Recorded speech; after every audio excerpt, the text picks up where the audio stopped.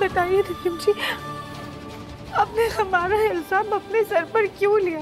क्यों आपने वो चाकू उठाया? आपको हमारी इतनी फ़िक्र क्यों होती?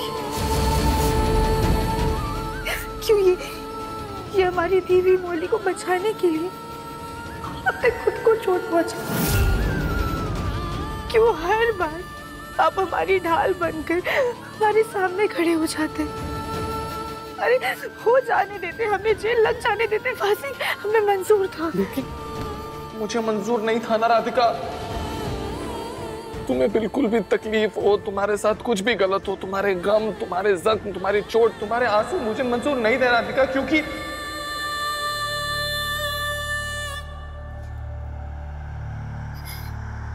क्योंकि अब देखिए मन अति सुंदर दंगल प्ले पर टीवी से पहले।